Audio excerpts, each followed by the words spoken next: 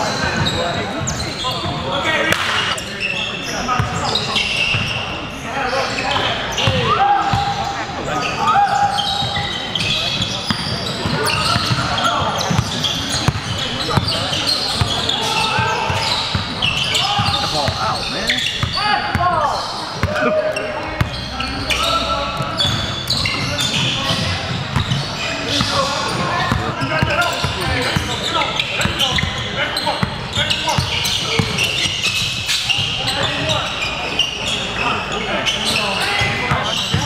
Uh, probably pushing 20, getting close to 20.